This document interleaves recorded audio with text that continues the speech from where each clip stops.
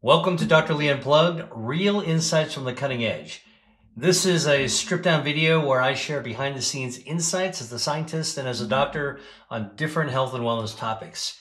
It's raw, it's direct, unscripted, no sugarcoating, just real talk and real science.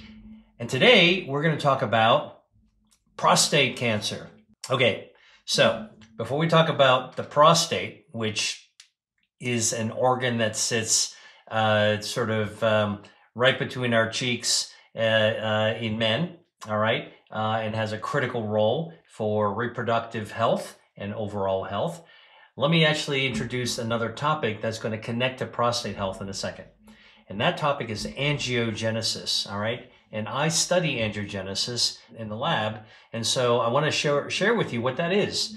Angiogenesis sounds like a complicated term, but angio, blood, blood vessels, genesis, how our body grows blood vessels, um, uh, is a really important process uh, for uh, health in our body because we have 60,000 miles worth of blood vessels. And these blood vessels, your circulation, these are the highways and byways that bring the oxygen that you breathe and the nutrients that we eat to every single cell in the body, including the prostate. Now, when we um, need angiogenesis, our body's going to be able to deliver that to us. So, for example, if you cut yourself, fall down, scrape your knee, cut yourself uh, in the kitchen on a knife, you know, uh, you'll form a scab. All right, after the bleeding stop, you'll form, start forming a scab, and it'll heal.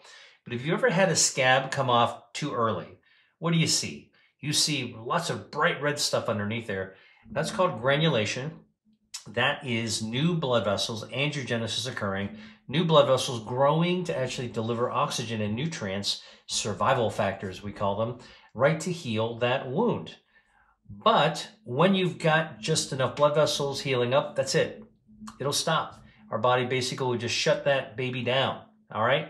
Now, on the other hand, uh, if there's too many blood vessels, uh, our body can actually control those as well. We know how to inhibit, our bodies know how to inhibit angiogenesis, how to cut off the blood supply when you don't want too many.